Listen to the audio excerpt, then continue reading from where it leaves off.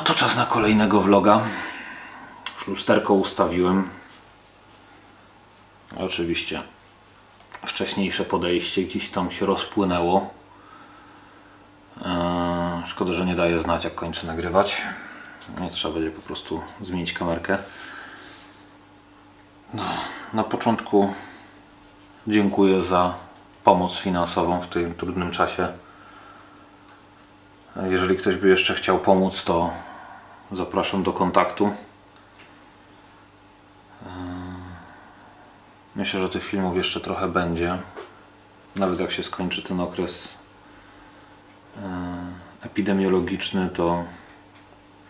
Co ty myszajesz? Coś ty zjadła?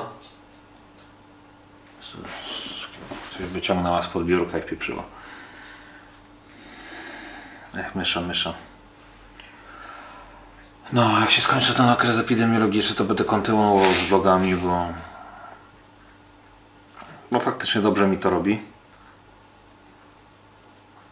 Mm, Po ostatnim nagraniu eee, nie wiem, czy to było związane z tematyką, czy związane z procesem nagrywania i uwalniania z siebie tych przemyśleń, informacji.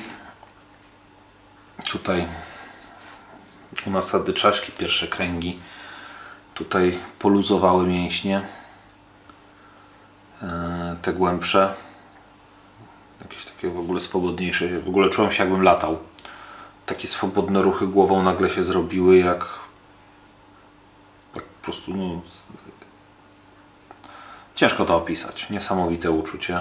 Później się to trochę spięło. Zresztą teraz nawet czuję to, to spięcie, bo tam się tam się jakieś stresy kumulują. Mm. Teraz nawet zaczynam właśnie to miejsce odczuwać, jak o nim zacząłem mówić. Możliwe, że też się troszeczkę tam kumuluje ze względu na, na to, że drugie podejście do nagrywania. Część rzeczy już powiedziałem i poszło dywa. Pomocy, którą ostatnio otrzymałem, zrobiłem sobie prezent. Spełniłem moje marzenie. Kupiłem sobie kubek ze Star Treka. Zawsze marzyłem, żeby mieć coś takiego. To mam.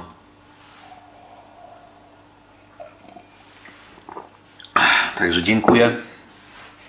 Michałek cieszy. Mm.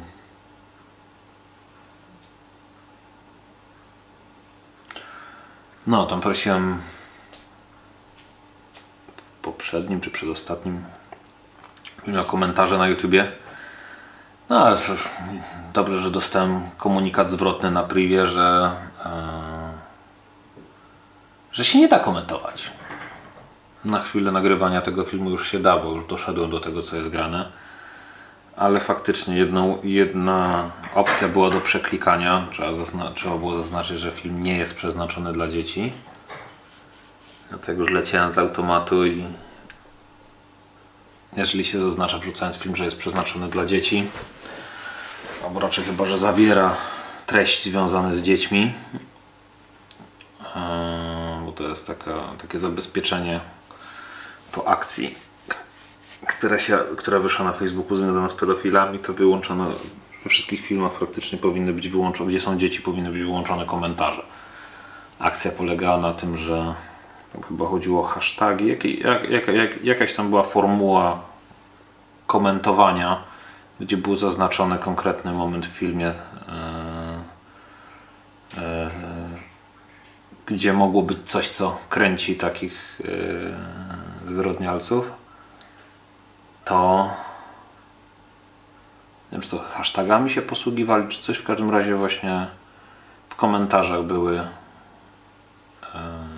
oznaczone takie momenty w filmach i YouTube po jakiejś tam właśnie aferze, gdzie to wypłynęło, e, zablokował wszędzie, gdzie występują dzieci, to e, stara się blokować e, stara się blokować komentarze, żeby już do takich sytuacji nie dopuszczać.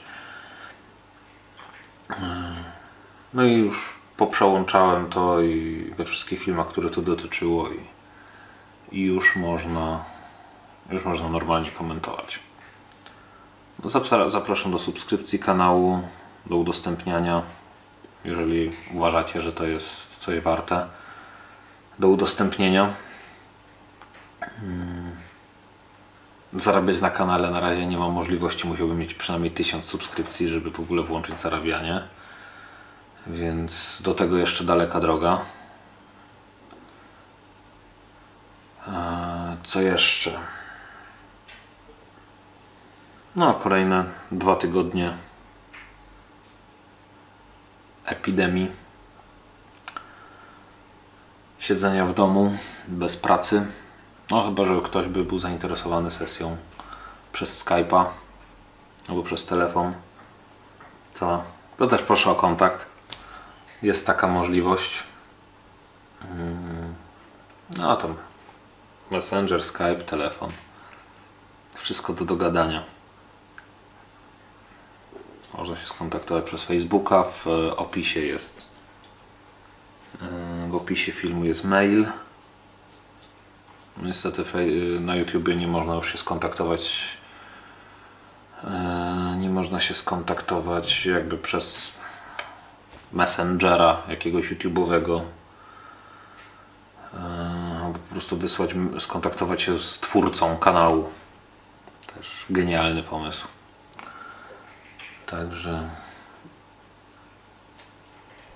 jak coś, jak coś to dane kontaktowe są w opisie. Yy, o czym chciałem dzisiaj mówić?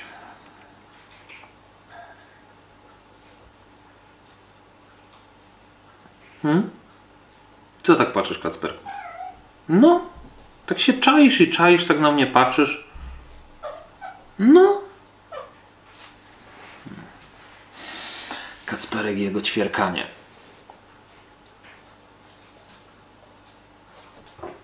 No, w razie czego mam pomocnika.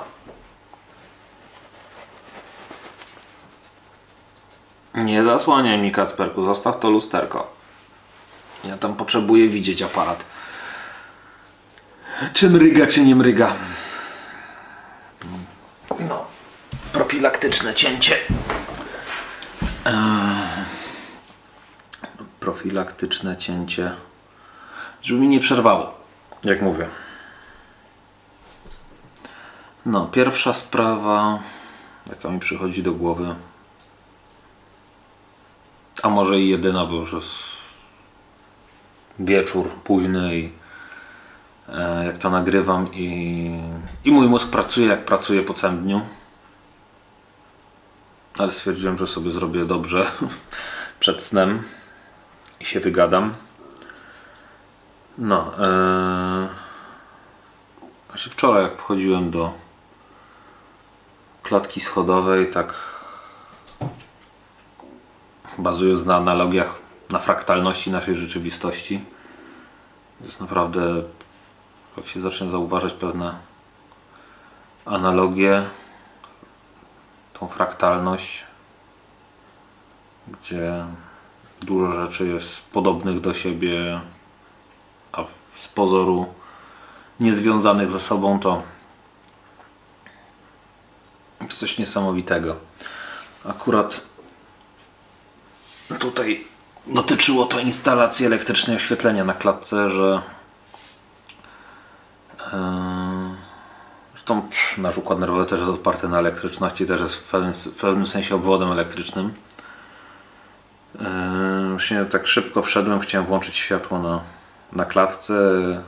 Zrobiłem szybkie klik, klik i sterownik nie załapał. Było za szybko dla niego. No to co? Wróciłem się, kliknąłem jak należy, przytrzymałem chwilkę dłużej.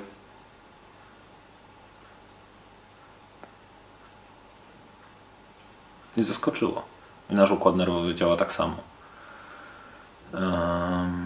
Ja to też obserwowałem na, na, bazie kotów. Em, Przypuszczam, że w ogóle psów też to może dotyczyć. Ym, A chodzi o na przykład o prędkość głaskania. To można też na sobie sprawdzić. Zaczynając od najwolniejszego na przykład. No to już jest w, w miarę szybkie, ale jest no już takie mikroruchy feldenkraisowe też się kłaniają, gdzie je najlepiej czuć od środka, ale e, częstotliwość. Akurat jeśli chodzi o głaskanie, to ja zauważyłem, że właśnie przy jakiej częstotliwości ko, y, koty się relaksują. Częstotliwość lizania przez matkę językiem. Tak jak myje matka małego kociaka, małego szczeniaka, to to taka prędkość jest skojarzona z komfortem, z poczuciem bezpieczeństwa. I wtedy e, wtedy układ nerwowy odbiera to jako przyjemność. Tak, myszu. No.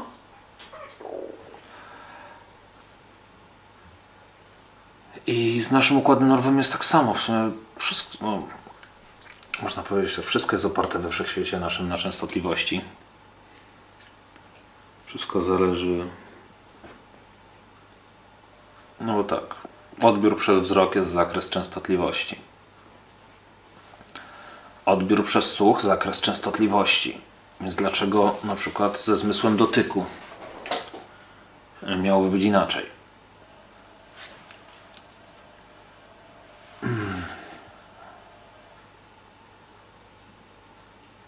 Nad węchem się nie będę rozwodził, ale coś mi mówi, że i to by można było sprowadzić do częstotliwości.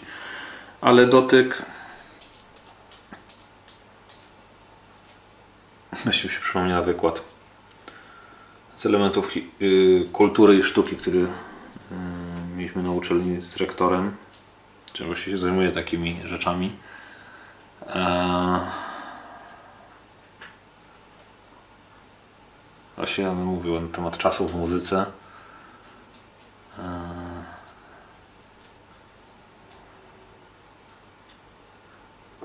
Zmiany ilościowe, jakościowe. W przypadku dotyku, no to zmiana jakościowa to by był na przykład nacisk na skórę, a ilościowa, no to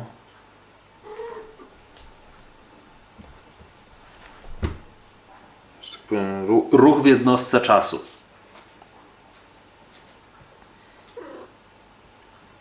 Ale można sprawdzić właśnie, że takie coś na pewno nie będzie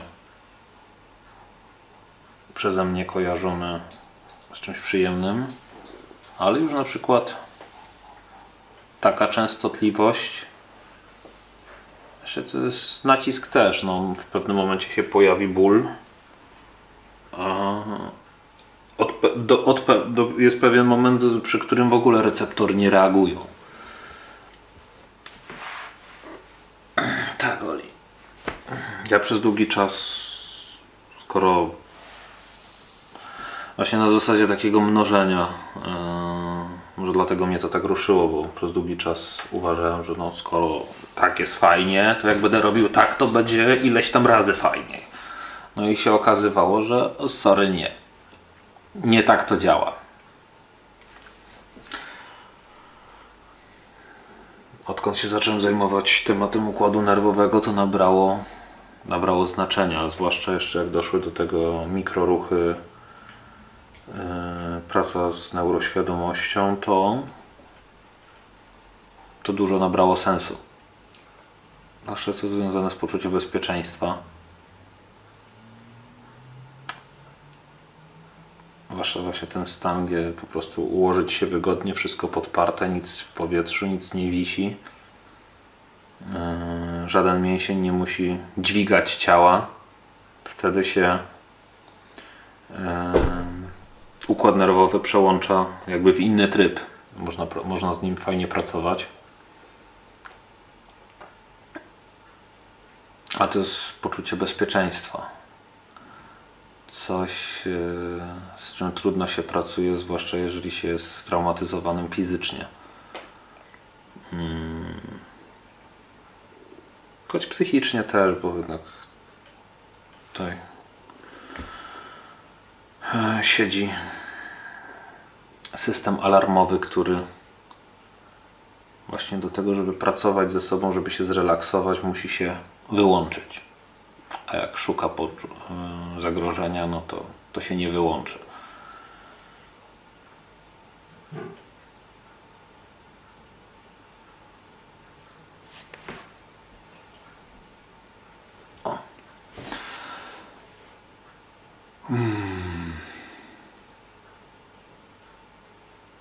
Odnośnie poczucia bezpieczeństwa, komfortu, to yy, to mnie też dużo koty nauczyły właśnie.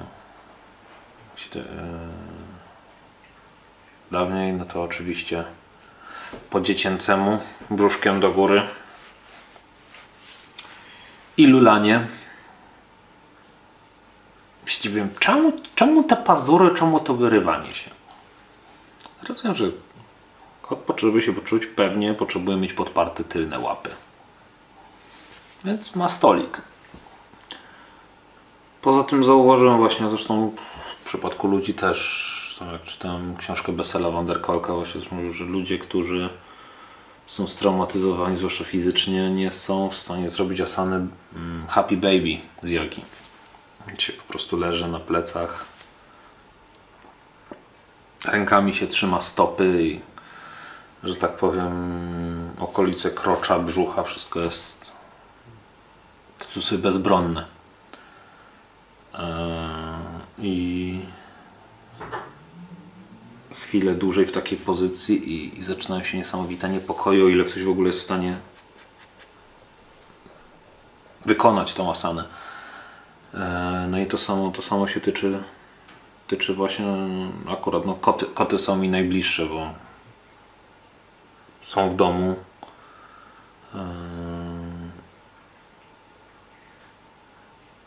Ale właśnie y, jakby to przełożenie mi kliknęło. Sam zresztą dzięki tej asanie też doszedłem y, do czegoś, co nazywam traumą łóżeczkową. Miałem coś takiego. To się, to akurat tak dochodzenie do tego e, dochodzenie do tego z jednej strony to e, wiązało się z e, jaki byłem roszczeniowy w relacjach z kobietami.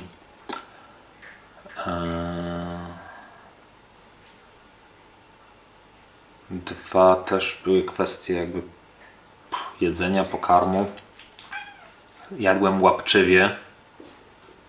Teraz jem trochę wolniej, ale, ale dalej, gdzieś to, dalej gdzieś to siedzi. Tak jakby już tego miało nie być. I, i właśnie pracując e, z ciałem mm, znalazłem to. Dobra, zrobię cięcie.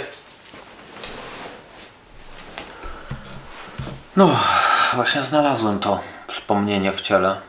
Gdzieś tutaj mniej więcej było. Co ty, mysza, chcesz? No chodź.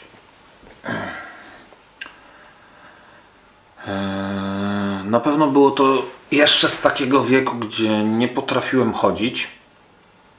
Dlatego nazywam to traumą łożeczkową. Nie potrafiłem mówić. Nie potrafiłem tego słowami opisać. Zero, zero tematu pojęciowego. O, gdzieś to jeszcze siedzi, bo czuję, że zwiększa się energia mówienia. Tak nawiasem mówiąc, właśnie w poprzednim jak wrzuciłem, to tak tam było 4, lat różni- 4 lata różnicy między tym nagraniem dla licealistów, a teraz, teraz co nagrywałem. To właśnie znajoma mi skomentowała, że, że zwróciła uwagę, jak mi się głos zmienił. No, że już to kiedy, kiedyś zauważyłem, ale właśnie przez to, że tutaj też się dużo poluzowało, tutaj też dużo w okolicach krtani, strun głosowych było napięć, e, mówiłem dużo wyżej. W momencie, kiedy poluzowałem, to mi się głos obniżył. E, no.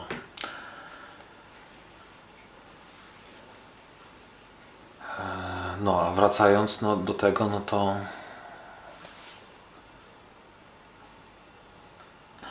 Możliwe, że to było w nocy, ponieważ e, między gdzieś tak 12 a 1, gdzieś tak północ, pierwsza w nocy. Różne takie burzliwe rzeczy też się potrafiły dziać.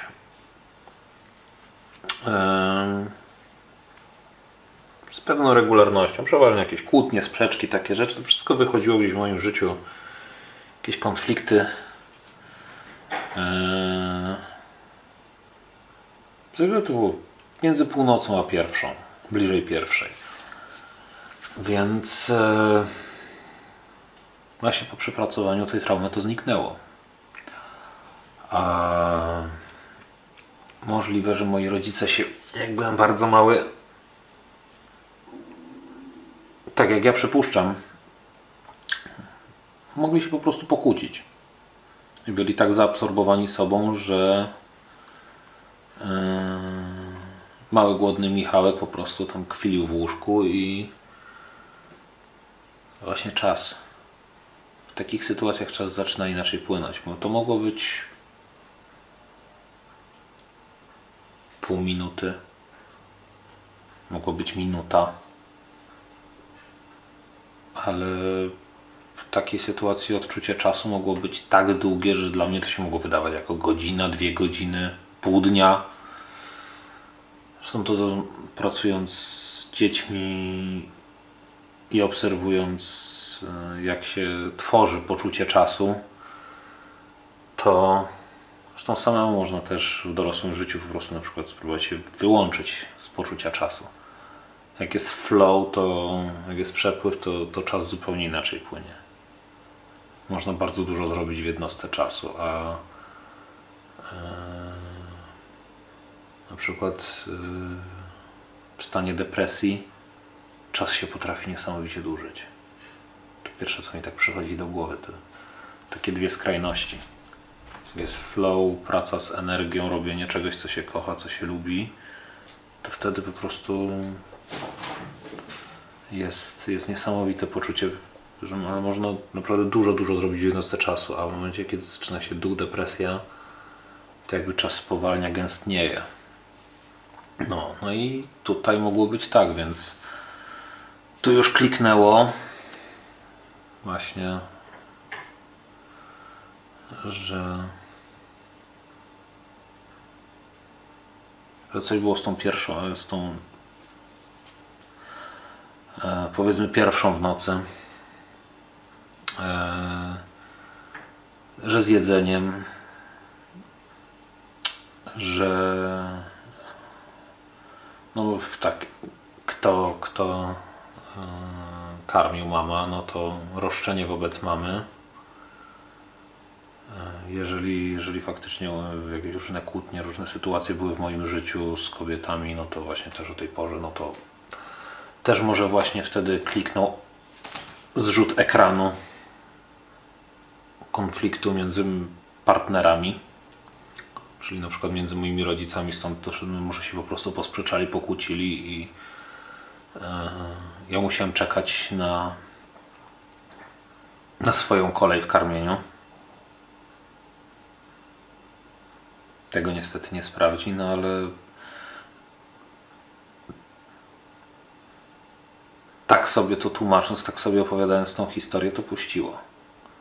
Wyszło to z ciała, głównie to się działo tutaj z lewej strony brzucha, strona matki.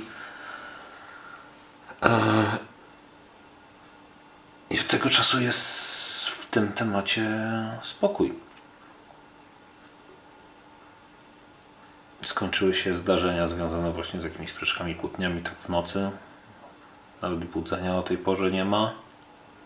E, Skończyło się jakieś takie, skończyły się jakieś moje takie podświadome roszczenia i tworzenie sytuacji roszczeniowych wobec e, kobiet.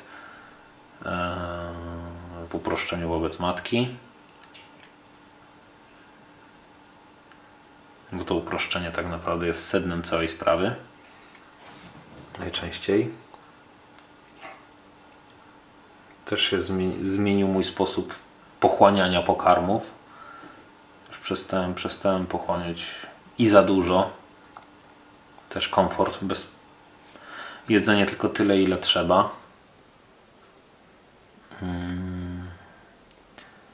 Eee, zacząłem być mniej łapczywie. A nie tak, jakby się, świat się miał skończyć i to miałby być ostatni posiłek. A co za tym idzie też dużo spokoju.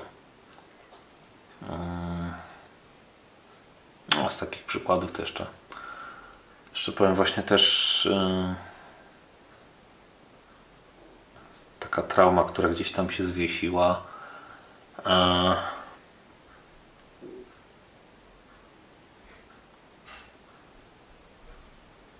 Nie wiem, czy to była jakaś skrzynia, czy wersalka. A zacznę od tego, jak do tego, jaką drogą do tego doszedłem. Em, często się zdarzało, że mimo, że miałem odetkany nos, oddychałem w ten sposób. Mm. Tak drążąc różne tematy, bo to no, rok czasu mi zajęło różne takie, ten, dlatego też nie nagrywałem przez długi czas.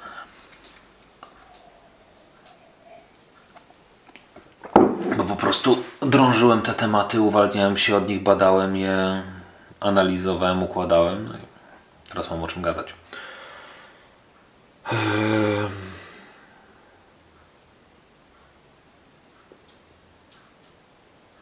To nawet był wolniejszy oddech. Ale co się okazało? Zostało mi zwrócona uwaga właśnie na to, dlaczego tak oddychasz.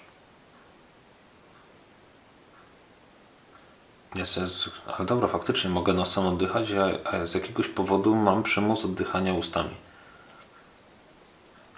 I. No okej, okay, dobra, wziąłem się za to. Bach, łóżeczko, cieplutko, wygodna pozycja i skupienie na oddechu. No i zacząłem znowu tak oddychać. No i w momencie, kiedy yy,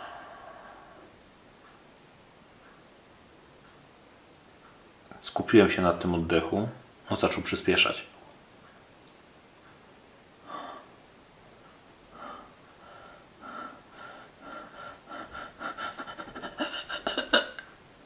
I się okazało, że to gdzieś tam był uwięziony w ciele atak paniki.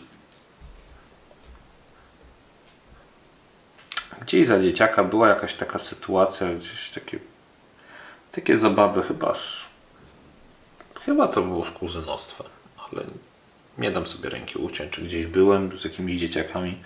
Zostałem zamknięty w wersalce albo w jakiejś skrzyni. I tak dla zabawy. No i w momencie, kiedy chciałem wyjść, no to dla zabawy zostałem zablokowany. Nie pozwolono mi wyjść. I się zaczął atak paniki. I to był ten atak paniki. Gdzieś ciało to zaabsorbowało, rozdysponowało sobie, ale że to było związane z oddechem, no to tego się już, znaczy to gdzieś tam też zostało ukryte no dopiero ktoś kumaty e, też wprowadzony w te tematy zwrócił mi uwagę na to. No i dobra, no to zajmę się tym, zobaczę co to jest.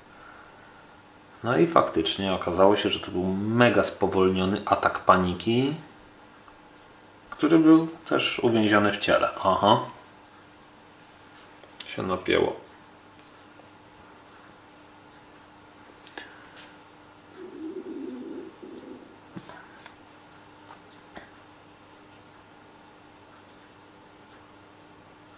tyle na dzisiaj.